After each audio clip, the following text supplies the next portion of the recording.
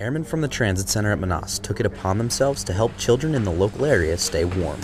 They started by unloading coats, school supplies, and sweets for the Grozd grade school. After watching the school's New Year's play, they handed out brand new winter coats to children who need them most. Uh, it was really awesome to see the kids get the jackets, but just being able to pass out those coats and know that it has an impact to them uh, and see them get excited about getting them was that was awesome. That was probably the best part of the day. Uh, I get a little big, a lot of growing.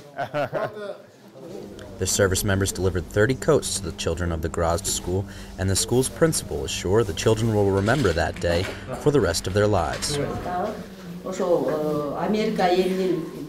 Our kids will remember these gifts from American people forever. And in 20 years, they will become government officials. And they will remember this day. And they will build their relationship with the U.S. in the best possible way. For the Transit Center at Manas, from the Grozd Grade School, I'm Senior Airman Ross Alexander Whitley.